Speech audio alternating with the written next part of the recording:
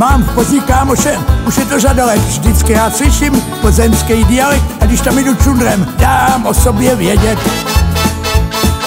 Řekne mi usáhnu, tu si tu tam dej, na tu ten gauč tam si nesedej, tam už 45 let nesmí nikdo sedět.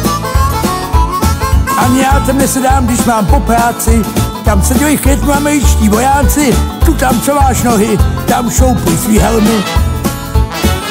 Táta vytahla šnopce z úkrytu, pozval partu jazzmenů do bytu a Chattanooga zpívala se velmi. To ten až 45.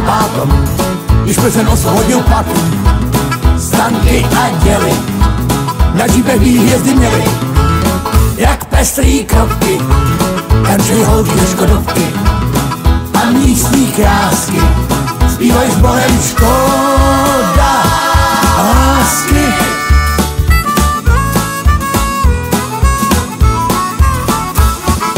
Před pár lety musel kámoš z podniku, šli po něm, že vozil kytky pomníku, ale on si říkal, až mu vlezou na záda, že je mu to fuk a že to nebojí.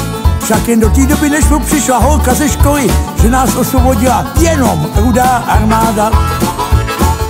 Šel do zbarovny a Marxových spisů, že ti učeží dává pomůc dějepisu a ještě chce tak, že jí ukáže ten otoman kde seděli tenkrát ti hoši v párkách, o Coca-Cole a horkých párkách. Já o tom zpívám song a je to téma na román.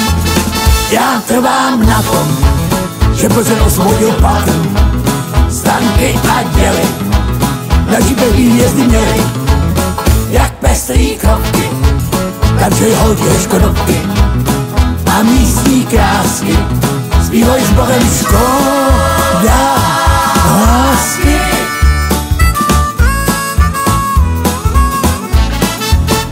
Ten já 45. Když Plzeň osvobodil patru Stanky a děly Na džípech hvězdy měly Jak pestrý kropky